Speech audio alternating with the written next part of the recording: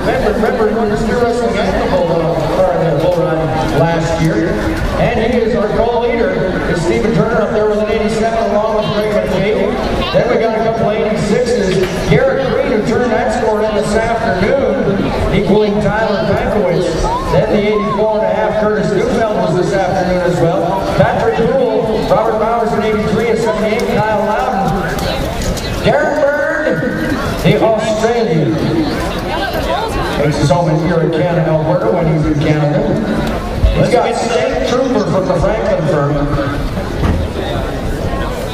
Get some Australian rock and roll. Get these bull riders pumped